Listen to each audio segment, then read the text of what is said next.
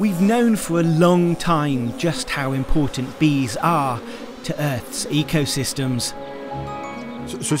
This site is a bit of a special site, since it is composed of a honey factory. We have cottage rentals at the same time as a main house with lots of electrical appliances. A Victron energy system has been installed at this farm to help power the honey production.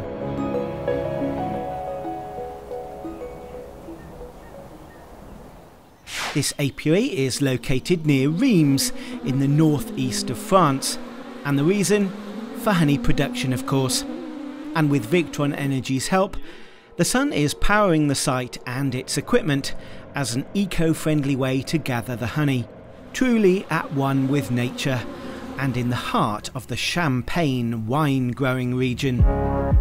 On the roof, there is a peak of 36 kilowatt installed, with an annual consumption of 40,000 kilowatt hours.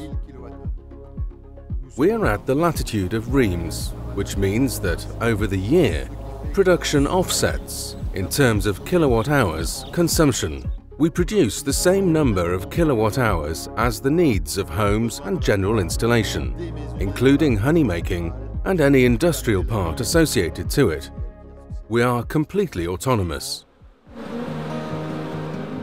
The Victron Energy System was installed in 2021 by ABE, a local installer and distributor trading in the region for 18 years now and specialising in fully autonomous agricultural off grid systems.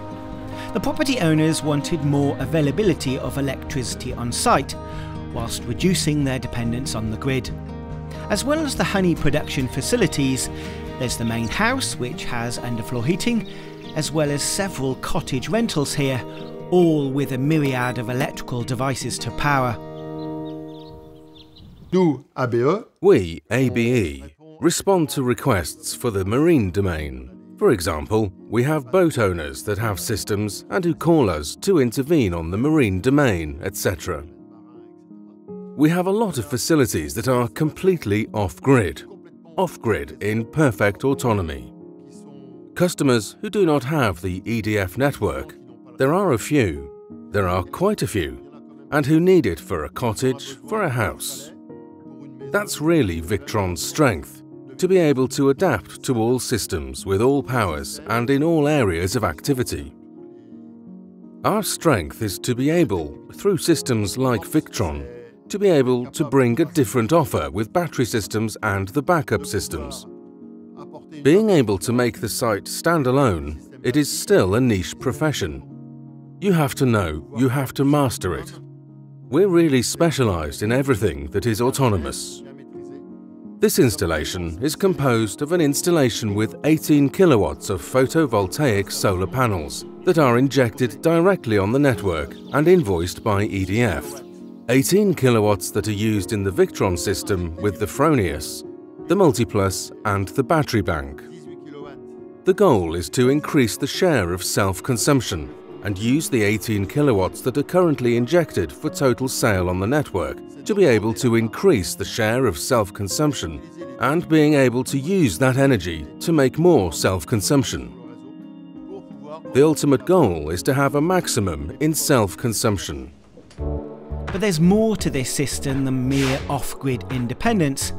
It allows operation in all phases, including electricity storage that enables the owners, when possible, to sell the surplus electricity generated back to the French grid. And with energy prices soaring across Europe, this is an extremely welcome option indeed. The Victron system with photovoltaics will allow us to accumulate all the energy part and store it in the battery bank. If this energy is not consumed, if it's too much, we can send it back on the network at the price of resale at around 13 cents. Energy is never wasted when you're lucky to have an electrical network.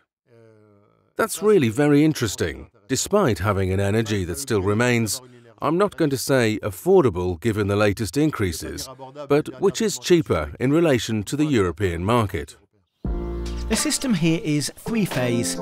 They have three multiplus 2 5 kVA inverter chargers, a smart solar charge controller on the DC side, and Fronius solar inverter on the AC side, working together to gather energy from the solar panels on the roof of the main barn. This room acts as a central distribution area for all the power on site. Meters are on each AC feed to the properties and to the areas for the honey processing. The dehydration room is kept at a steady temperature and water content for the beehive frames. The final process is extracting honey from the frames in spinners and drip trays, catching every drop. Workshops and barns use the power to keep the hives and location maintained. There's a colour control that monitors the three phases of electricity and solar generation. The equipment is guaranteed for five years. Victron's follow-up is very good. We have people behind us. We have answers behind us. If something goes wrong, we've always been able to troubleshoot customers and ensure customer service. In addition, with VRM systems that are cross-references of information on the Victron website, we can take the lead. We can control the installations remotely.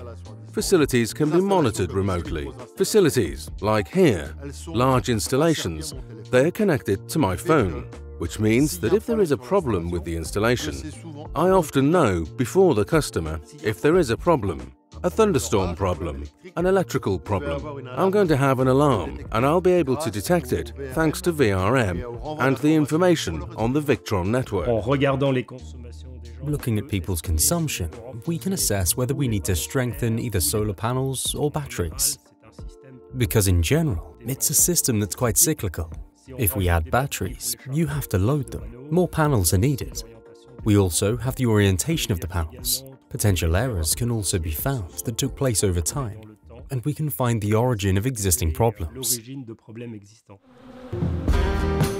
The system here will soon be getting an update. Another battery is going in to increase capacity, and there are also plans to increase the inverters to 10 kVA in order to keep up with the energy needs of the beekeepers and their guests, both of the human and non-human kind. Marty kept bees on his homestead in the US state of Montana. That is, until a bear broke in and took all his honey. Click on the link to see Marty's Pooh Bear experience.